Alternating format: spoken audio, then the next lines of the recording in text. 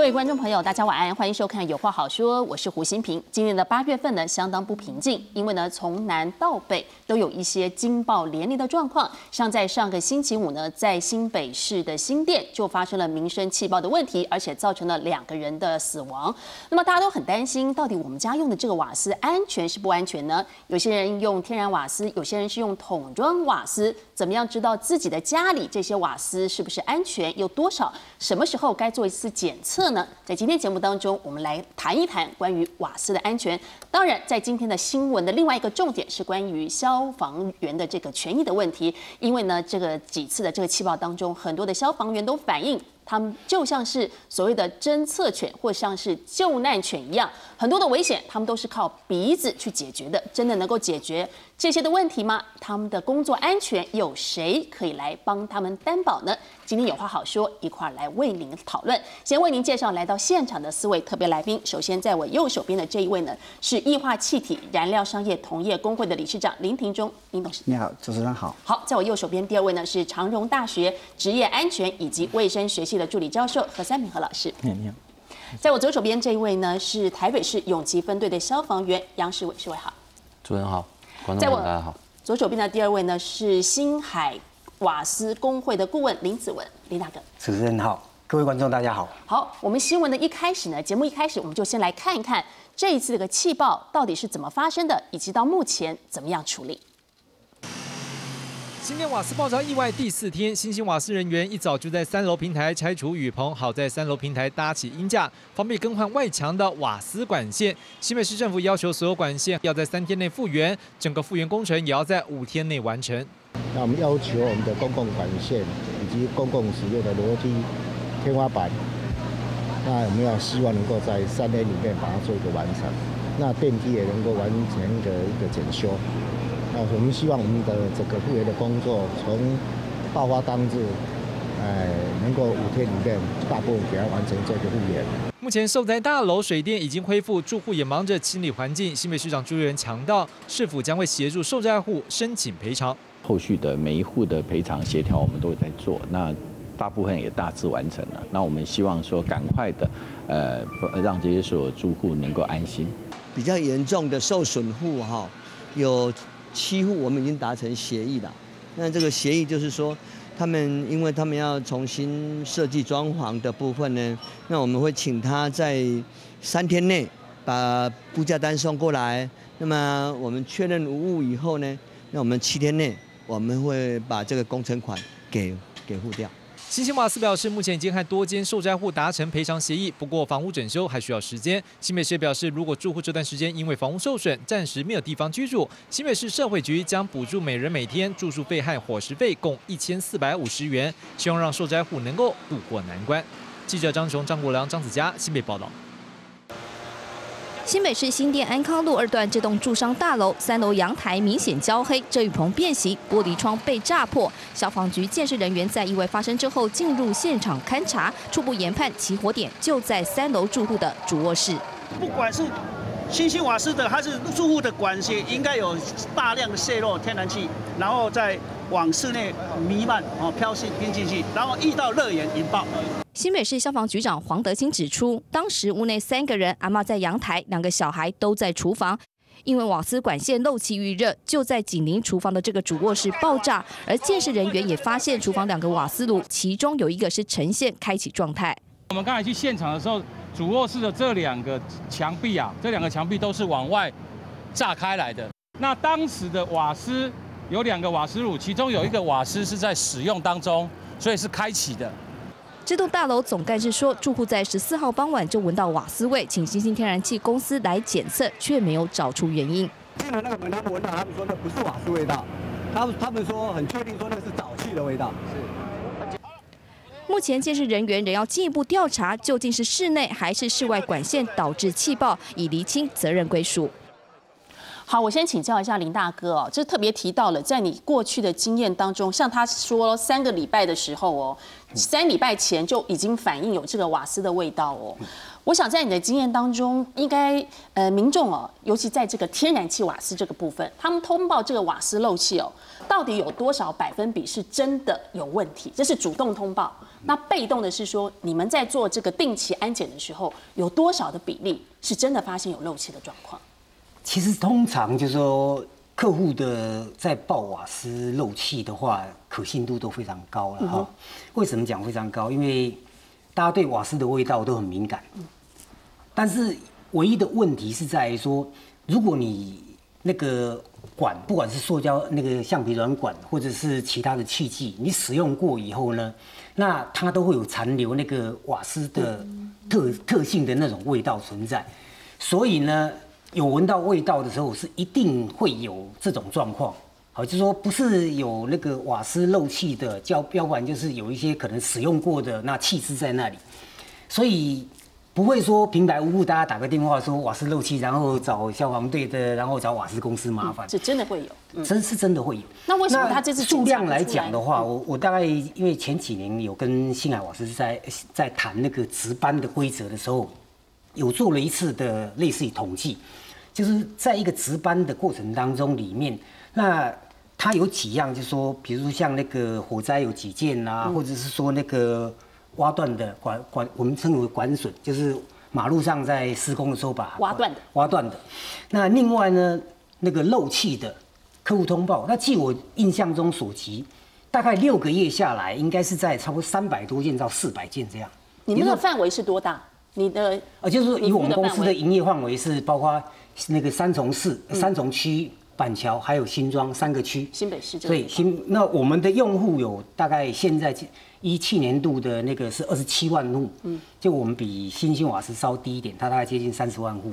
那这种情况的话，就是说在通报的这种情况，就是说以六个月的总总总 total 的数字上，大概会差不多有将近三百多到四百件这样，也就是说一个月大概会有差不多将近五十件，这也不少哎。对。所以几乎大概一一天会有一件到两件的漏气的情况。那这是如果说你说比例很高，那以那个二十几万户来讲的话，事实上它的比例也不高了哈。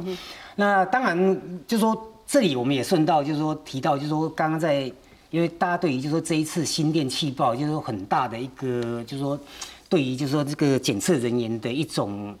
就是说那个责难，好，那我觉得这里应该替他们就说说句公道话啊，因为我自己本身在过去将近三十年的时间，也从事于就说那个瓦斯公司的这个工作哈，这也是一个员工，也是呃也是要值班，嗯，好，就是说几乎大概是每个月会有两班到三班的这样的一个情况，那我们要面对二十几万户的用户，所以通常在通报瓦斯漏气的时候呢，我们第一个会。确定说他是不是真的漏气？嗯哼。那第二个部分呢，就是说我们也会请他说啊，你再确定的闻一下，好，那在什么地方我们去处理的时候会比较方便，直接找。要不然你跟我讲说漏气，然后一句话一丢哦，我茫茫大海何处捞针了？这个是主动通报的部分。对对对。那是被动的通报，呃，那被动的检测的部分。被动的检测，因为在法令规定上，它是每两年要一次检验检测。那当然就说这个安全检查的部分呢，我觉得。其实最令人诟病的地方是，它的检测也变变成一种形式化，嗯哼，就是非常公式化，就是去检验一下，那变成是一种以推销，比如说那个什么安全器器啦，什么什么为主嘛，啊，因为我们在这个地方不不得不指责这些瓦斯公司把安全检查这个很重要的工作呢委外，嗯，好，基本上它是委托给外包，那这些外包的公司呢，它赚什么？他不是赚赚那个那个那个安全检查的那个检查费用，他是赚那个我推销的。哎，你换个龙头，换个什么什么橡橡皮软管啊？换个什么东西，变成那个去检查人员他主要的收入来源。所以相对的，就是说今天好像瓦斯公司把这个客户资料呢给委外的这个外包公司，那等于是打开一个门户，然后让这些 sales 一样的去那边。哎，你要不要换这个换那个？所以。他把一个非常重要的工作呢，可以防灾除弊的工作呢，在这个过程当中给漏失掉。不好意思，我很冒昧请教，贵公司也是这样吗？确实，嗯，几乎所有的瓦斯公司都是如此。是，刚刚林顾问讲的是什我最近才跟参加台北市的这个消防局的座谈会，他是邀请所有的台北市的所有的这个管线瓦斯公司，包括我们统装瓦斯工会都参与他的座谈会，都都是针对这个他的安全检查，哦，要要求我们要强化到什么程度？一定要强化两年内一定要要安全检查，而且他要每个月，甚至每三最少也要每三个月都要申报一次，说你到底检查了多少用户，嗯。哦，他要求这么做。那在这情况下，我们才我我们才发现到说，哎，像天然气瓦斯公司几乎都把安全检查是外包制的，因为外包厂商良莠不齐，他能不能落实我们不晓得。那那瓦斯公司可能这方面就很需要追踪了。那那我反过来问你哈，是那他们还有客户资料，你们可能根本就没有客户资料。那客户资料如果在这里面它的管线发生问题的时候，那就只能由个别的这个呃瓦斯行来做安全检测喽。没有，现在是这样子，因为我们桶装瓦斯跟天然瓦斯是完不一样不一样的送货方式不一样，它是用管线送的，它不可能到你上你家去。那桶装瓦斯有一个好处，你每一桶用完了，你一定要叫瓦斯行嗯派人送去。那我们的员工就必须要安全检查的这个训练，所以说就到现场哎，的我们训练的员工训练过，他每到现场去装了一桶瓦斯，他必须要做安全检查，嗯哼一定做简简便的这个这个安全检查。在这个这个装好之后，检查完毕以后，才给你收客户收费用。所以这个安全方面，在桶装瓦斯方面，这方面就比较强化。等于说，你一桶瓦斯，你最久一半年就要一桶了嘛，对不对？那快一点快一点的是一个月两三桶也有啊，像面摊子一个月十几桶啊，那都是要做安全检查好。所以这方面安全就没有不过问题。检查方面来讲，桶装的比较容易，因为它只有上面那个气阀而已所以只要你弄一点肥皂水在那个上面泼洒一下，就可以知道。对。所以基本上它不会说太麻烦。对。那因为天然气它是导管供应的，很所以它管线是固定在那个地方。那管线固定在那个地方，基本上它的安全度是比较高了。嗯。因为除非没有人会没事就去动一动，而且反过来讲，就是说你去拉它板，它也板不动，因为它是固定上牙的。好，所以那个东西在在如果说你安装完成之后，做过气密试验以后，其实相当程度的不会有这种漏气的危险。嗯除非就是说有发生地震，或者是说你有改装，好这种情况它有震动，或者是有一些那个移动的情况，这比较反，这有比较有可能是那好，平常的正常的话，应该是在我我认我这林顾问，就是我们在我这是。说一上话，就是说，在地震完了以后，更需要检查。天然瓦斯应该是要逐户检，尤其是大的比较稍微大一点的地震，应该就逐户检查了。嗯哼，那就要尽快是在着户检查，其实在而而且尽快外面的公共管线，其实也应该要一并被注意。我们再来看一下这一次啊，永保安康这个社区当中瓦斯这个气爆事件是怎么说的。有些住户说，其实三个礼拜前就发现有问有问题了。那么实际通报是在八月十四号这一天，那么他们就叫这个社区大楼当中的总干事来通报业者来检查。那么这新兴公司的这个检查员到了现场之后呢，他就用鼻子闻，他说啊，这其实是这个沼气啊，就是这个大楼里面当中的这个什么化粪池这一类的哈。所以呢，待了五六分钟之后就离开了。后来到了晚上的八点钟，就觉得这个瓦斯味道怎么会越来越浓呢？可是还是没有进一步的处理。到了这个八月十五号的时候，将近中午十二点就发生这个气爆。那么这个呃。这个八点的时候，新兴公司的人到现场说，其实啊，看起来呢，这个外观的管线是正常的，所以呢，这个到底是为什么发生气爆，还有待来检查。那到八月十六号的时候呢，他们还是逐一的勘察。不过呢，到了八月十七号，他已经正式的向这个新兴瓦斯公司已经正式鞠躬道歉了，那么承认是他们的疏失。我想先请教一下这个。市委，其实你做这个消防工作很长一段时间，请你帮我们说明一下。一般来说，看我们这种呃，尤其是这个集合住宅式的这个民生气爆，我们大概会看到这个灾害的样态大概有哪些呢？嗯，它如果是这个是在就是是在整个住宅里面爆出来的话，那它一定是需要有一些时间去蓄积这个所谓的瓦斯天然气。嗯，对，那因为它这个东天然气这个东西，它没有到一定的浓度，其实你要让它爆让它烧是不太可能的啦。嗯哼，对，所以它也它也是必须要空气中的浓度到达一定的范围，然后有火，那它才会有这个连锁反应。嗯哼，那它如果真的爆了，那大概其实就是会像大家在电视上都有看到的画面，就是它它会有一个震波、冲击波，就是往外炸嘛。那它所以你的玻璃啊、门啊，然后包含你看它里面的电梯，然后嗯一些家具什么的，就是它都是会由内往外被炸飞，所以它东西是往外飞的。对，所以它那个威力，大家可以看到，它其实有波及到就是大楼对面的一些店家，而且通常都是对面最倒霉，未必是两边，好像是对面最倒霉。对，因为它那个 它冲击波的走，其实就是像这一次它的爆炸威力哦，我我们也因为其他电视也有专家说的，它多少的的这个量，其实你我们用用这个术语来讲的话，可能大家听不懂。那我用比较简单的讲法，就是说它那个量大概相当于我们一个家用十六公斤瓦斯的量，十六公斤。嗯。那十六公斤到底能有多少量？那个十六公斤如果是一般家庭用户，大概是一个月一桶。嗯嗯。你看一个月一桶，它在短短的一个晚上的时间，全部全部漏光，漏到那个密闭空间里面，而且不通风。如果它通风还 OK，因为毕竟天然气它的丙烷是比空气轻，哦，它会飘上，它会飘。你只要开窗户，它会飘出去的。它没有开窗户啊，在这种情况下又急速的漏这么大的量出来，才会产生这么大的。所以有震波，所以玻璃容易碎碎裂。其实被玻璃泼泼到就很很就很危险。它东西都会炸，就是有点像手榴弹的感觉。嗯哼，对你炸开，然后它那个碎片，然后就是整个都往外飞。再来就是火。对，然后再来，它当然炸完之后，可能会有一些地方有火。对，大概就是火灾，然后就是爆炸的伤害。但其实炸完之后，你说要短时间再炸，其实也不太可能。哦，因为能量算是释放完。对，就是它蓄积的东西已经烧完了。嗯对，那它炸完之后，它也把那个开那个空间炸成一个开放空间。嗯哼。所以那个瓦斯的部分都散掉。对，就没有那么容易再最最后剩的就是火烧起来，就这样子。好，我这时候就要请教一下这个何老师了。那个，但刚刚。在那个新闻当中，大家也搞不太清楚啊，这个责任归属原来不完全是属于这个瓦斯公司的，还有这个表里还是表外这一类东西，这个到底是什么意思呢？对，因为瓦斯公司它配管配好了以后，那事实上住家他就会内部就是自己去配瓦斯这部分，当然也是找厂商来配。是啊。可是因为，但是因为瓦斯公司它就只是负责配到这个外管这个，但是内管的时候，那个等于是内部的。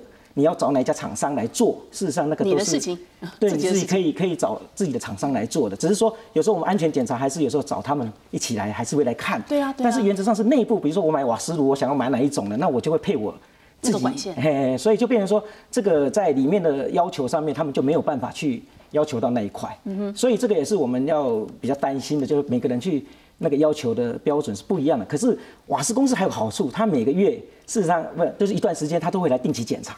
那所以他会用这个气泡来就帮我们做这个很详细的检查，所以这块倒是我们在，因为我们能源局在帮他们做查核的过程当中，他们确实也做的蛮完整的。只是说刚才提到哈，我觉得我们现在在谈瓦斯的时候哈，那个刚才说的要达到那个爆炸下限，其实它才会爆的。嗯。所以那个浓度要达到四 percent，可是我们现在这个很多人呢在谈说是五到十五，其实那个是错的。嗯。因为天然气就是四到十六 percent，那我们浓度越低就会爆。是更危险的，所以我们在谈五到十五，其实差一个 percent 哦，已经差了一万 ppm。所以我们常常听电视在讲 ppm，其实我们谈一个 percent 已经差了一万 ppm。所以它浓度要到，所以所以我跟你讲，那桶装瓦斯它的浓度是八百 ppm，那天然气的浓度是一千 ppm，这个才会产生有危害危害性的。所以你的意思是说，基本上要让它达到气爆这个，并不是这么容易，可以这样说吗？就是它的浓度要达到四 percent 以上才。所以你的意思是说，相当于要整个十六公斤的桶中瓦斯，它的威力才像安根这样子这么严重，这么严重，这么严重的一个状况。我我我补充一下哈，就是说，当然也澄清一下，刚刚我们都会把那个所谓的瓦斯管分成表内跟表外。那这里其实一个是一个很天大的误会了哈。为什么讲说表内跟表外的话，就是过了表以后呢，因为那个瓦斯它是忌讳的。嗯，如果漏的话，就是漏客户的钱。嗯哼，表钱的话，因为这个还是没有经过计量的部分嘛，所以漏的是是漏瓦斯公司的。那同样的，我们就要回到一个一个关键点去谈，就是说这个管子是谁装的？都是瓦斯公司装的嘛。我客户出钱，他不会说我只装到装到外管这个钱而已。那几乎就是说你来估价，因为我以前做做管线设计的，就那个设计说从外管然后到内管，直到就是说那个龙头你要接橡皮软管到瓦斯炉，其实就那一小段就那一小段。那我们是那个固定的开关是做到开关为止，嗯，所以这一段几乎应该都是瓦斯公司要负负全责了，没有那种说那个表内的是瓦斯客户你要负责，因为那一端还是伸进了客户端去了。那唯一的问题是在哪里？就是说。能源能应该是讲说天然气事业法规定了哈，就说他现在把这个表外管视为是瓦斯公司的资产。嗯哼。哦，那表内管呢是属于客户的资产。嗯。好，就是说现在瓦斯公司收了你这一笔工程款装置费以后呢，但是回过头来讲。当然，这里面涉及到说，也是一个天大的笑话。我出了钱，变成人家的资产。是是。好，那就说，当然，我今天要装装装装置装置这个这个工程，所以我缴这个费用，没话讲嘛。那这一笔钱，就是说我缴了以后，都是你瓦斯公司来来装设的。嗯。那瓦斯公司你也有义务，就是说有责任帮我做好，然后做检查嘛。要不然你说两年一次检查，检查什么啊？里面的管是我的，那我自己负责，或者是我自己装。那你干嘛要你来来来跟我检查？是，哦，所以这个检查的责任跟那个都是瓦斯公司的，嗯哼，所以基本上不要说他那个表内管是是你们家的，嗯，在资产上，在资产上是你的。问题，但是责任来说都是瓦斯对对对，那那不能讲说那那个是那个客户的，所以我想它的分法哈，就是说其实我们刚才谈到鉴定的概念，对，就说责任归属，比如说你现在是在使用者。造成了这次的爆炸，那就归属到使用者。当然，那如果说是他们外面已经泄露了，嘿，那到的里面，那就会造成就变成是说他们的责任。所以就变成说这个归属的时候是在鉴定的时候的归属，并不是在那个财产的归属。是是是。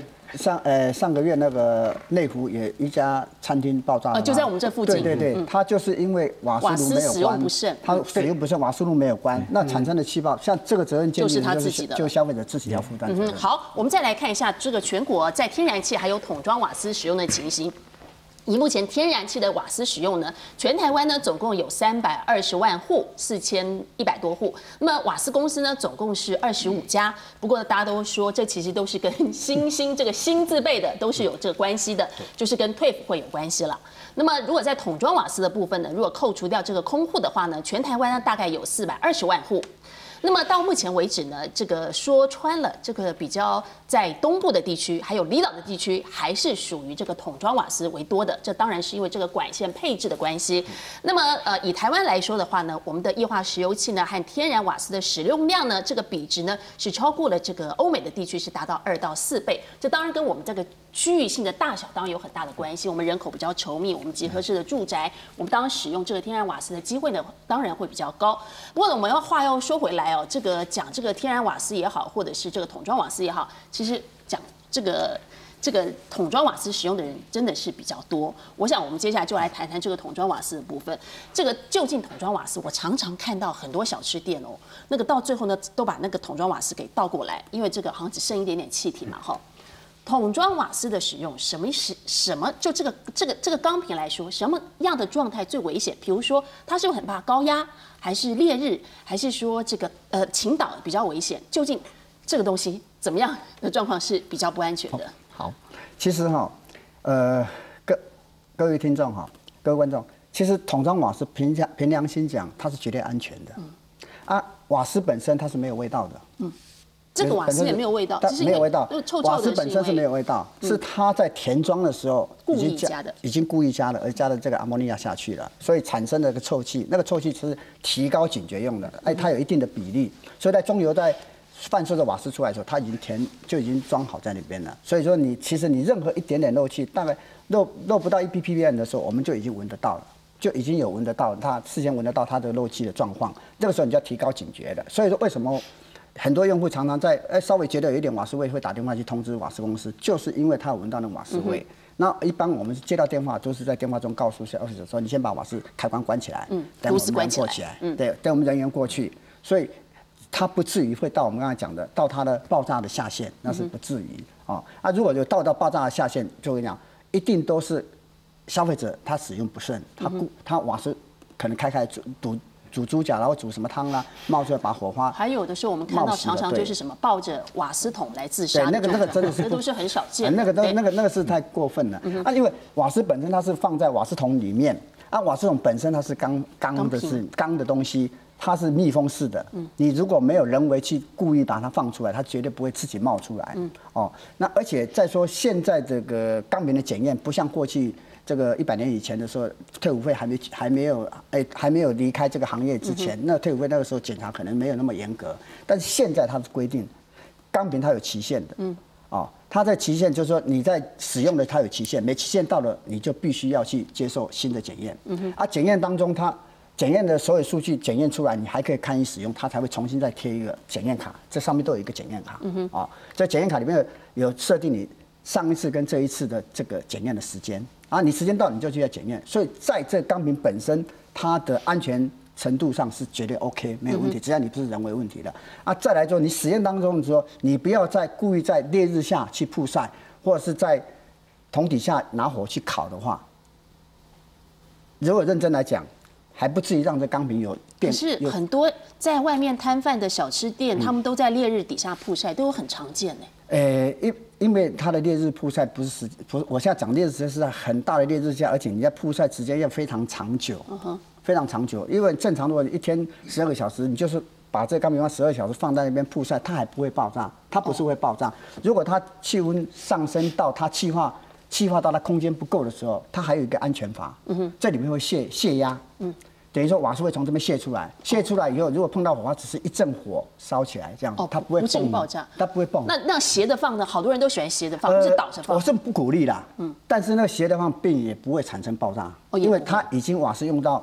没有了，几乎它没有了。它倒下来只是想把残余瓦斯弹拿出来用。来听听何老师怎么说。这个有时候倒下去哈要小心，就是说，因为我们其实我们立着的时候它是。气态的，对对，那气态跟液态它膨胀是一千倍，对，所以有时候我们在泄漏的时候哈，如果说你泄漏的话，你倒过来是变液体泄漏，那如果万一泄漏的时候，那那个量是比这个大的二十倍的量在泄漏量，然后再气化变气体，所以一般我们还是不鼓励倒，不鼓励你倒的会变成液体泄漏，那如果我们是上面的话是气体泄漏，那那个量是差了二十倍。如果是液体泄漏，我们会看到什么样的样子呢？是白雾呢，还是？不是，我我这个我讲一下，因为你如果说满桶倒下来的话，你。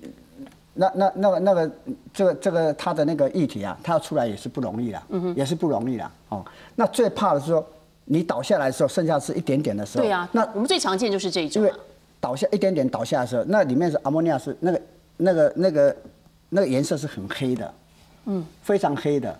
啊，它呢是臭气占大量大部大部分，臭气占大部分。哎，啊，气体它其实它已经烧的差不多了，它只剩下一些。残留的阿莫尼亚，那阿莫尼亚是会顺着这个小洞口的时候，沿着这个管线出来，它整个屋子会很臭，人也会受不了。啊，那个东西一样是可以烧，但是它已经没有具备有爆炸的那个能力了。啊，这是这点我们要说明了。OK，好。那但是你整桶倒下来，平常讲你要它气这样冲出来也不容易啊。嗯哼，好，我们来看一下，其实呢，很多人像我们刚刚说了，四百多万户都是使用这个桶装瓦斯。不过呢，瓦斯钢瓶的这个到底使用的这个年限是怎么样呢？看起来有点。不太令人安心哎，从这个资料上看起来，这是内政部的一个统计。那么用了三十年以上的钢瓶呢，有超是百分之十；二十到三十年使用的这钢瓶呢，有百分之三十四。那么其他的呢，大概就是呃百分之三十三。换句话说，一个钢瓶呢，超过这个十年以上的呢，大致上已经有百分之八十都是超过十年以上。请问一个钢瓶到底可以用多久？呃，其实以台湾现在的法规。来定的话，是一直一支瓦斯钢瓶可以用到三十年。哦，可以用这么久？用到三十年。三在第二十九年的时候，就是要接受淘汰。嗯。这是台湾目前已经定出来标，一过去的时候还没有一个这么个标准，而这一百年之后，它定这个标准出来。所以说，在这个三年、三十年超过三十以上钢瓶，现在在市面上流通量是非常少的。在一百年以前的时候，那时候，呃，内政部的统计数字将近了三百万。嗯哼。哦，将近三百万啊！经过这三年的这个法律规定以后。啊，业者也发现成本验验的成本划不来，因为它三年以上只能验一年、半年到一年嘛，在成本上划不来。因为一支钢瓶好像你说才一千三百多块。对，新的钢瓶一支三百，但是它半年检测一次，大概就要花了快七百三百三呃两三半年检查一次三百六三百六一次的话就要三百六，三百六加上你的七百二十块。两次他就对他来说不划算，不划算了。嗯哼，所以说。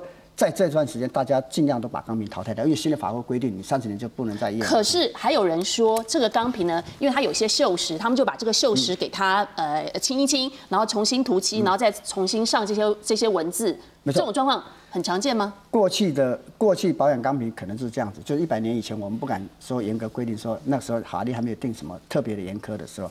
那个时候说很多保养钢瓶的话，漆油漆大概都是瓦斯店自己来漆，人家检验回来自己漆漆。现在的新的法律规定，它就一定要送到验品厂去。嗯验品厂经过它好几种关卡的数据的，包括膨胀系数啦、耐火系数等等这一些安全检查通过了以后，还堪以使用，他会发一张新的身份证，就新的检验卡贴上去以后，他他们这个厂商会自动用喷漆器把你喷进上去，在防锈处理好，它才能够让你瓦斯行再带回去灌去使用。好，这是在。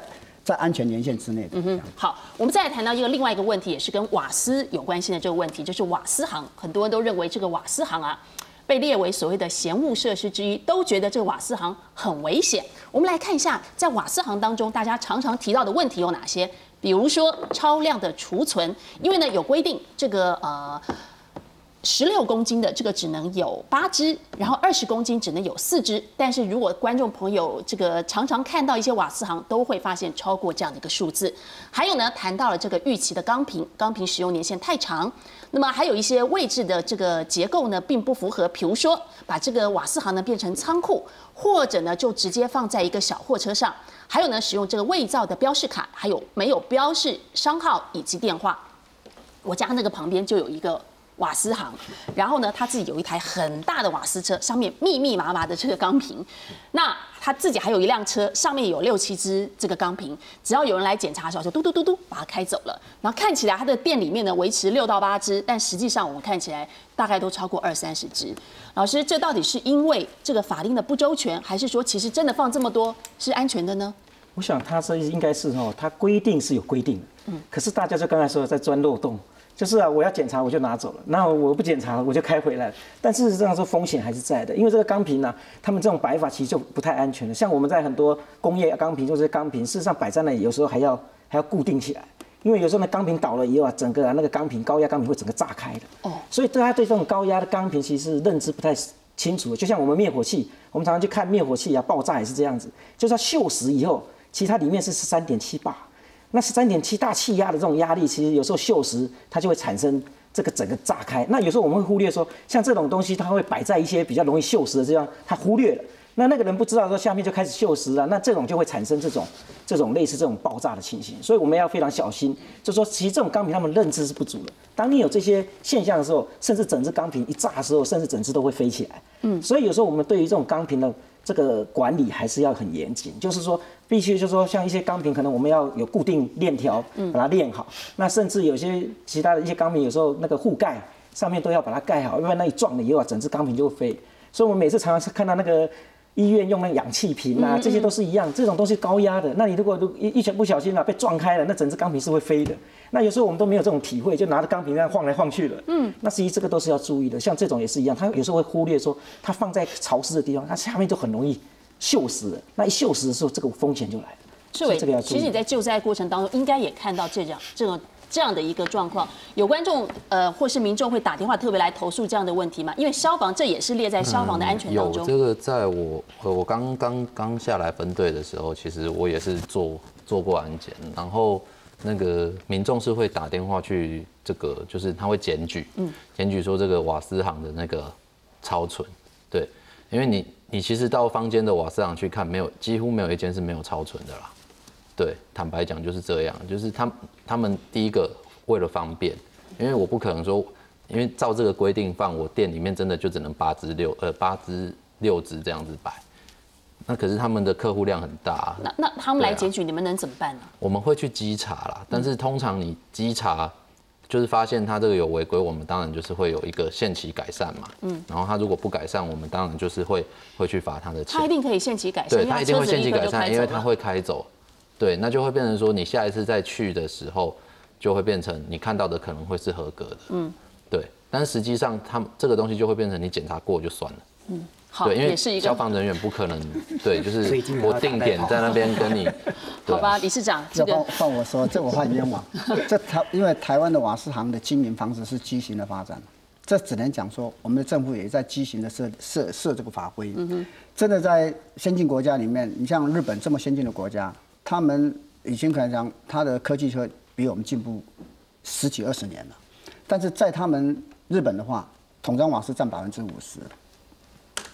他们城市里面还是占百分之五十，嗯，那个液化石油那那个天然气的是一样占百分之五十。不过我想，非用不可。可是问题是安全的问题。对我现在讲的意思就，在那难道他们他们用这个经营桶装瓦斯没有那么多瓦斯店吗？一样这么多瓦斯店。可是我们到日本去参观的时候，你有在瓦斯店看到瓦斯吗？绝对不可能。你只要看他们炉具店，几乎都有瓦斯店，都是有经营瓦斯，但是他们的瓦斯你看不到。那放到哪里去了呢？都在他们距离他们瓦斯行不到一百五十公尺左右啊，这么近啊？对，那也是在市区当中，也是在市区里面，也是在市区里面。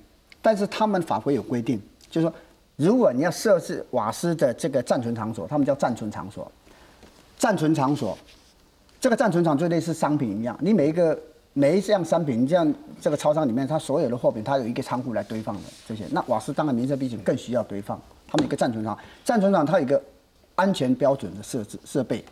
跟它的建筑要求，它只要符合这个要求，我们的他们的这个公家单位就应该允许这个许可证给他们。所以在那个地方，他们有很多的瓦这个消防消防规定的安全设备在那边。所以只要一旦有瓦斯发发生瓦斯意外的话，他们很快的去可以。去解决这个问题。不好意思，那台湾目前是没有。我想打岔一下，因为我们刚刚在之前聊天的时候，你特别提到了，其实瓦斯的本身它应该不是有那么大的危险。对，没错。可是为什么瓦斯行没会会成为那种所谓的这个不定时炸弹，或是我们看，哎，你明明说你只是运送啊，那你又没有在里面做别的事情，它究竟为什么瓦斯行会爆炸呢？其实就像刚才我们老师讲的，它是对瓦斯瓦斯钢瓶在最。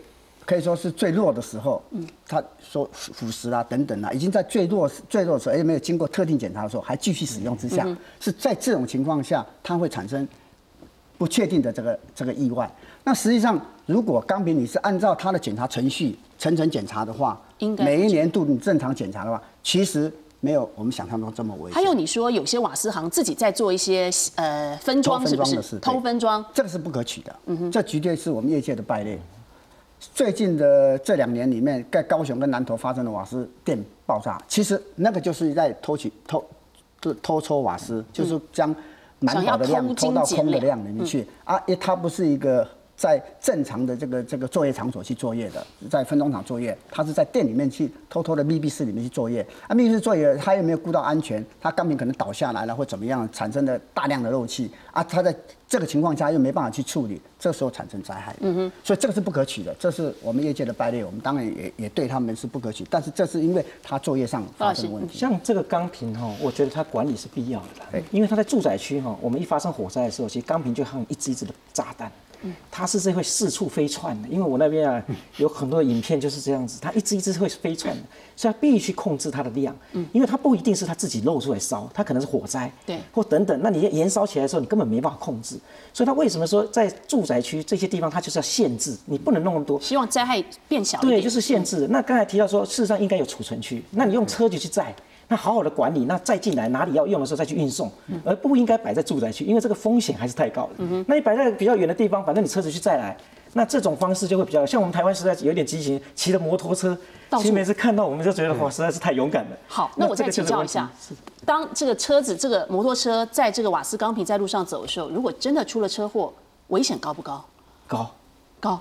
因为你撞开的时候，有时候你这个不晓撞开了，对，啊，你撞开以后它就会起火，嗯，所以你不知道你撞到哪里，你可能把这个头撞，它一倒了就撞开了，那撞开它可出来就会烧了，那烧就是下一个有可能会爆啦或什么那个都就。可是没办法，民众就是需要啊。对，所以我刚才说，他必须用一个安全的管理，比如说我们刚放在比较远的地方，然后用车子再进来，那每一个都绑好了，那你再到那个用户的地方再把它拿下来。嗯，所以我就说，管理跟运送这个过程是必须是有严格的，不能摩托车载的这样随便，甚至连绑都没绑，这个我觉得是非常可怕的。就是说，至少要有我刚才说的车子都把它链条绑好了，到了那个点我把它松开，然后再送。那这个我想就几乎没有什么太多的这种危险性。看起来我们这个住宅当中有很多的方便，可是呢也似乎充斥了各样的危险。好，在下一个段落我们再来看一下，究竟怎么样正确的使用这个瓦斯，或者是说你要怎么样做一个检测，才是对你的安全来说是最重要的。看一下。没有在使用的状况下呢，它这个表会动，那就是有问题。正在使用瓦斯时，瓦斯表上的数字会跳动。家里如果没煮饭也没用热水，瓦斯表却像这样不停跳，就代表瓦斯漏气了。最关键的动作就是不用瓦斯时要把总开关关掉，连接到室内管线的开关最好也关闭。煮水烧汤时更要记得，千万别让汤汁溢出锅外。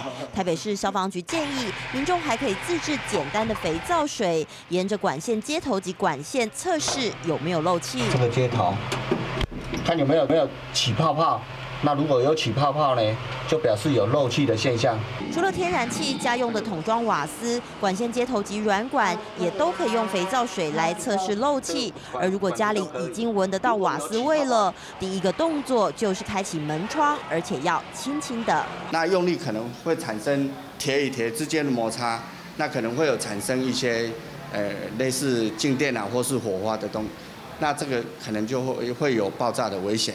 台北市消防局也建议，瓦斯从门窗飘散之前，千万别开任何电器，因为当瓦斯弥漫时，电灯、厨房抽油烟机等都可能因为通电而产生小火花，导致瓦斯气爆。哦好，听说呢，现在有很多产品都在热卖，热卖什么呢？就是这种像是什么防爆器啦，或是遮断器啦。像我手上呢就有好多种，比如说这个叫做瓦斯遮断器，这个当然是我们比较常见的。还有这个呢，也是叫瓦斯调整器，看起来是有跟这个压力有关的。我们再来看到这个啊，这个呢是放在这个天花板上的，也是看有没有漏气。这个呢，这个我说真的，我也我也不想装懂，因为我真的也搞不清楚这个是什么。第一个是问说，哎。到底我们要不要买？买的这个价钱呢？这个好像好，有的很贵，说这个五六千，有的要上万。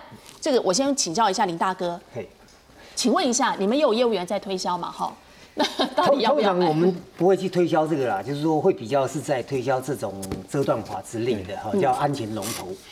那我们原先在设计上管线在装配的时候呢，它就会设就会装那个开关的龙头，叫做超流量。嗯。就当你如果说你把那个瓦斯的软管哈，那个橡皮管一拔掉的时候，它会自动关掉。嗯哼，它大大量的泄漏的时候，它会自动关掉。那如果你是正常的，对对对对，就是这个正常的量很轻微的那种那个气体在使用的时候呢，它不会关掉。嗯哼，好，所以它这个是是比较大量的泄漏的时候，或者是那个软管破裂或断掉的时候，它才会关掉。那一般。现在就是安检人员，他会去推销，就跟你讲说，你换一个安全龙头啊，其实跟这个都一样，没有没没有太大的差别。嗯哼。那反而就是刚刚讲的，就是那一种侦测器。嗯。啊，这种侦测器，因为它通常是装置在天花板上的，嗯，就是当它有气体的时候，它里面会有那个电池，然后侦测到那个气体的时候呢，那它会分析，分析了以后就是有。比如说是那个甲烷，它因为它那个有化学有有有那个方程式，这老师会比较清楚一点。那它会有那个警报的声音。那这种当然就说，其实如果说有漏气的话，你的鼻子就比那个还要快速就可是我晚上在睡觉啊，那它又漏，它这个又漏了一晚啊，那怎么办呢？那所以我们我们刚刚在讲，就是说那个天然气它的安全哈，就是说因为它比空气轻，所以只要你气窗，就是说你居家不要封死了哈，你那个气窗保留着开。那个畅畅通的开着的话，它气体纵使有漏气的话，它因为它比空气轻，它会往上飘，然后就会飘散出去。它麻烦，尤其是在冬天的时候，哎。那所所以这个现冬天其实你还是要维持空气的一个流通啦。好，我说台湾的天气大概不至于要冷到就是说那种那那种会冻死人的情况之下。请教一下，这个遮断器大概价钱怎么样？价钱三不定。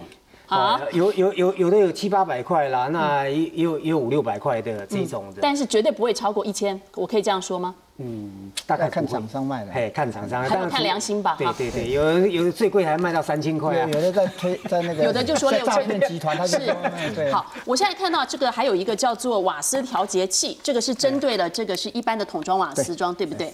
请问这个价钱也是看良心吗？没有良心可以卖到多少？有良心是多少？这我我我所知道，在诈骗集团这一支，它卖到三三千到五千。嗯哼。啊，实际上像我们正规的瓦斯店，这个它最多不超过一千块。嗯哼。啊，这里面它有两个功能，一个就是刚刚超流超流量的时候，它有自动遮断的效果啊，再加上它一个压力表。可以让你自己检测你瓦斯有没有漏气，好，这两种功能。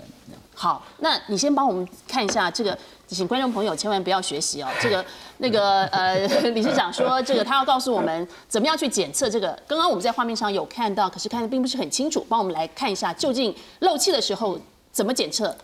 一般一般的话，漏气的话，我们这最重要就是说，当你瓦斯开开来的时候，你发现有瓦斯味道的时候，用户也要特别注意，除了你。第一个动作的时候，你把瓦斯桶关起来，请瓦斯公司来。那你若等不及瓦斯公司来了，你先可以先自行检查，是不是这个真正的漏气？那很简单的方式，就瓦斯打开来，呃，先准备一杯这个肥皂水，浓度要很高吗？浓度起码要打得起泡泡来，打得起泡泡，要人家洗碗巾也可以，洗碗巾更好，洗碗巾比较方便，你打成泡泡来，然后把这个开，把这个龙头瓦斯打开来，然后针对这个管线的话，你去给它涂抹，哦，甚至于说这个，这个，这个，这个。哦，这已经有看到泡泡最近有看到，像这个就是漏气了。嗯，像这个就是漏气了，那代表是这条管线的这个位置在漏气。不过我想你不用这样做，我都已经闻得很很很明显了，这真的是还蛮臭的。所以说你看这个漏出来是不到一 ppm 呢，嗯，我们就已经闻到了。哦，这不到一 ppm 哦，你已经就闻到了。那你可见这个瓦斯臭气是很厉害的。你要是说你真的说倒下来让它漏出来，你根本人都待不了这个房子了，这样的。所以我是觉得说哈，刚才主持人提到那个哈探测器很重要。因为人的鼻子还是会有它的盲点，所以我想说有些死角，对，所以我想这个是很重要。所以那个量不足的时候，对探测器还是要有。那你探测器，你在像我们火灾，你说要靠人去闻。你是指这个探测器吗？这种的瓦斯警报的，对你测到以后，那你今天会警报。那我觉得说那种东西，你在上面你睡觉真的是没有警觉的。那请问，如果是抽烟也会有吗？像是是这样的烟雾，是一般的对一氧化氮，它是针对气体的部分，任何气体它都可以侦。侦测的出来，因为它不准确，它包括的就说有一些它并不是纯粹瓦斯，而且装这个东西你要分辨，天然气它是往上飘，所以如果你说侦侦侦侦测的话可以，因为它位置装的比较高。桶装的瓦斯这种装另外一这这个是哎那个是比较低的，因为它比空气重，液化石油气比空气它存在，所以它会从底下慢慢积上来，所以它是装在在低低的位置，它会它会它它会。会会会积积在墙角下面的这样。好，呃，我们今天谈了很多跟瓦斯有关的问题，不过呢，今天我们要特别还要再谈到另外一个问题，是消防队员的权益的问题。因为呢，在从高雄气爆一直到现在，他们形容他们就像是侦测犬一样，用鼻子去辨识很多危险的气体，究竟是怎么回事？今天他们也到台北来做抗议了，一块来看一下。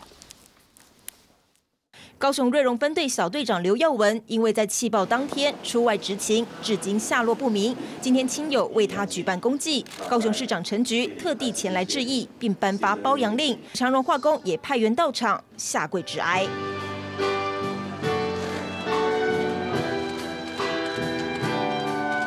一场气爆意外造成六名消防员英勇殉职，也让消防体制的问题再度受到关注。多位消防员十八号北上到消防署抗议，痛批中央卸责。气爆当天到现场救灾的消防员就指出，装备缺乏和救灾单位分工不清楚，就是造成消防员伤亡惨重的关键原因。我们没有任何装备器材去应付这种化灾的问题，我们也没有那个专业能力，更没有那个经验与判断力。可是却叫我们。去那边做一个白白牺牲。消防员长期人力不足，缺额有一万三千多人，目前有将近四成的分队每天上班人数不到五人，如何应付复杂的救灾？不过消防署回应，消防人力的增补、设备的添购都是属于地方政府的权责。所以这个部分，刚我只能讲，就是说我们来请求县市政府尽量来补足各位的需求。对消防人力缺额，消防署表示预估在民国一百零六年能够补齐，但对于消防署的回应，到场抗议的消防员和声援团。体无法接受，他们扬言不排除在九月一号走上凯道，全力争取消防员应有的权益。谢参一垒继续证据，台北高雄报道。我知道你们这一次有主要三个诉求，一个是人力不足，还有这个缺乏装备，以及救灾单位分工不清，是造成消防队员罹难的最大的祸首。我请教你个最简单的问题，好像一个消防衣防火衣是三年要换一次，请问台北市多久换一次？其他县市又多久换一次？台北市现在应该是有啦，有就是有在两三年的这个时间，它一直有在做汰换。就是近几年来，台北市的装备是有在朝好的方向走的。嗯，外县市呢？外县市就很惨，就是听听一些外县市的同学啊，或者是那个在讲。当然有一些县市他知道说这个装备重要，所以他会去优先的去做采购。对，那但是有一些真的就没钱的县市，他可能就没有这样。再再加上他们可能又会考量什么？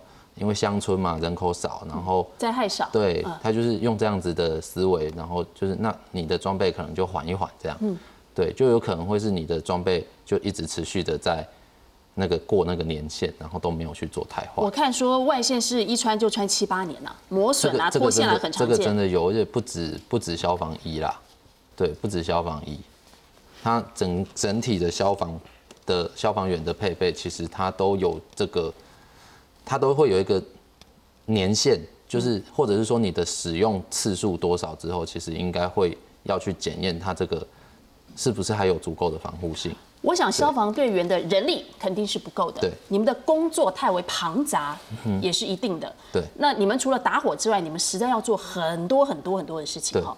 你可不可以谈一谈你的经验当中最，我们不要讲离谱了哈，最跟消防无关的大概是哪些事情？最跟消防无关的，大概就是嗯、有这个民众晒棉被，然后那个掉到那个阳台屋檐嘛，嗯对，然后因为大家住比较高，所以他会请我们出动云梯车去去捡。还是要捡？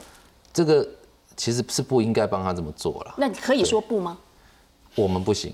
你们说 你们不能对说不行他。他派了他他这个接报的人就是派了，然后如果说有明代啊或者是什么的，他他去施施施一些压力，然后就是要我们勤务中心派车，就是在第一线的人是没有拒绝的。明代为了一条棉被对你们施压，然后就要去救那条棉被。最近不是有新闻报道说那个派消防车去洗那个，对啊，就是花官邸 啊莲花莲那个啊，洗香公所那个去浇水啊也是。对，那他这个他这个讲法会有时候他就会讲说啊，市政一体嘛，帮帮忙。可是站在我们的立场，我们是反对这样子的行为，就是这个救灾的东西，你就是应该留在救灾用，你你不应该是说我今天啊没有灾害嘛，那你就帮帮忙。可是谁可以？没有人可以告诉我们说灾害什么时候来。就像今天这个新店气爆这个，你可以预知说我下一分钟会气爆嘛？其实很难。那如果说在当下他住户，我们就回到现场，就是如果当天住户是先打电话叫了一一九，其实我们的人还是一样啊。如果他没报之前，我们的人一样是进现场，然后去我们会去稍微去测一下这个气体。那现在回想起来就很恐怖啊，有可能我来了，然后我进去测了，它爆了，然后你就看我们的人被炸出来啊，对啊。但是可是你不能说不啊。对，就是我们在现场还是会有，他会要求要有作为。对，那我我们现在会变成说，如果说今天它这个现场任何灾害都是有这个不定性、不确定性在，那例如说这个未知气体的泄漏的时候，我们会觉得是不是应该就是要严谨一点？嗯哼，对，就会变成说你可能就你就必须要按照这个化灾的流程去，哦因为我们消防队有的探测器，它毕竟没有办法把全部的气体都有。它它可能会，例如说，我可能可以测出说它这里氧含量多少，然后一氧化碳有多少，然后可能可以测出瓦斯嗯，顶多。那如果说它不是瓦斯这些东西的时候，我我觉得这个指挥那就麻官烦请你对们自己用就是体系鼻子去闻。是是对现我们当然是不赞成这样，嗯对，那就会变成说，如果你发现说这个东西不是那个气体，或者说这个我们不知道是什么的时候，那其实在整个指挥体系上，应该就是要严谨的朝严谨的面向去走。嗯哦例如说你要把成绩拉高，你要请谁到现场？那我们遇到很大的问题就是，我们常会说，诶、市府一体，市府一体。可是，在因为消防队跟警察其实是比较特殊的单位，它是二十四小时，待命。的。所以你市府一体很简单啊，我一通电话，我市府一体我就来了。嗯，哦，但是你什么环保局啊、社会局啊、毒物的辨识啊的啊，嗯。对，好，我我跟他讲，我市府一体，嗯。然后我今天电话打了，他一个小时以后才来啊，嗯。因为他下班了，然后再来就是像独灾应变队，他全台湾的编制只有三队，三队是多少人？三队应该应该不到不到一百人吧，然后要服务全台。对，嗯，就是所有的这个毒化灾的部分，我们都会请他们来协助。可是台台湾就三个队，然后它是分在北中南三区。嗯哼，好，那像高雄这次气爆，它的毒灾应变队，我不知道是从台南还是对对对，过来的它它它它一定会有一个时间性。嗯，对，那这个其实就反映出这整个防灾体系很大的洞，就是你这些东西其实它都应该要专责。嗯，对，它不是消防队员一个人可以去，一个单位，对，不是一个单位可以处很很理的。很不幸的，全部落在你身上。对，就是会变成说，你消防队他现在的状况就是啊，反正出事情你市府一体，你先到，嗯，你一体，对你这一体就好了。对对对，嗯你先到，然后我后面的啊，你发现不对了，你再通知我。那这是一个很大的问题啊，嗯就是说，应该是说这个，如果说大家知道说有这个不明化化学物质的，例如说它在这个路底下有这个管线的时候，其实你有关单位应该有的设置是，你平常就有这个应变的准备。嗯，应该把这个危险的对层级拉到最高。就是郭老师，嗯对，因为我本身在消防署帮他们做这个化筛训啊，那这次其实发生的时候，他们呃应变中心也有找劳动部跟我一起去现场做监监测。那我们用 FTI 啊这些很先进的装备，其实很快就测出到底有没有什哪些东西。所以再回过头来，就是我们国家应该对于这些装备要好好的思考。消防单位都在第一线，刚才说就冲到前面，你没有装备，像如果他有一台这个，他马上一测，马上知道丙烯，我相信他的应变都不一样，因为他是未知在救救一个灾，那你又不能测，一测大家你看你你你为什么测？可是如果你有数据，有很多的事，那你弹出来就不一样，你就可以做很多的。气体百百种，不是每一种设备都可以侦测得到。所以那种 FTI 它的好处就是说，它可以很很侦测各式各样的这种波长，所以它可以很快的辨识说这个到底是丙烯还是什么。所以我觉得就是说。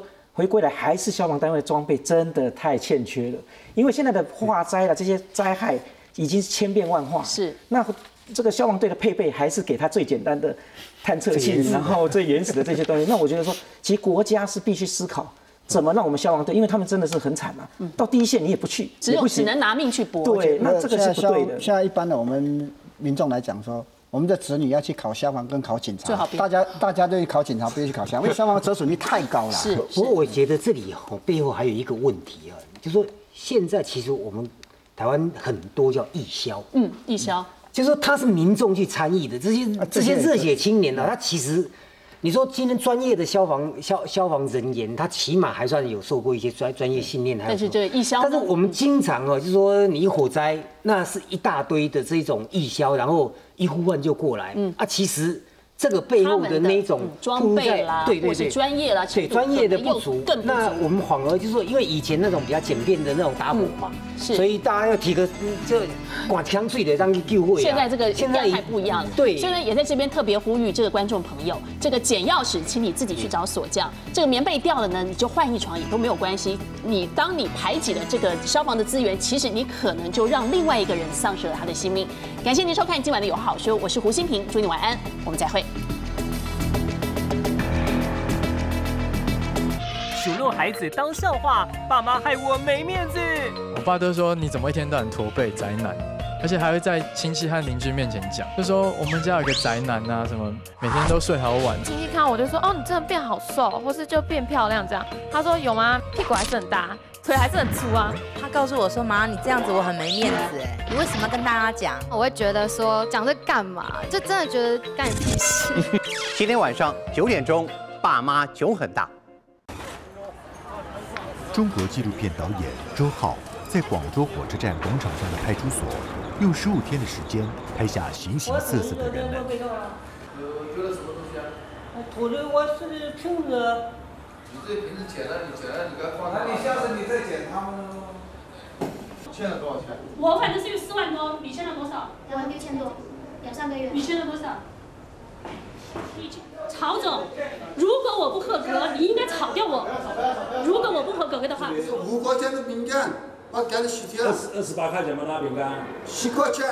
十块钱，反正也是值钱的东西，你不能去偷人家东西的吗？偷人家东西就肯定要受处罚。嗯，我是什么？你们饿死了，你都有两百多块钱在身上面，还饿死。一个普通的派出所，成为观察中国社会的一个切入点。周二晚间十点，记录观点，拆管就在公共电视。海洋中最大的鱼类——鲸鲨，因人类的文化差异与价值观而有不同的可能性。追寻着金沙片段的生命轨迹，一路从熬。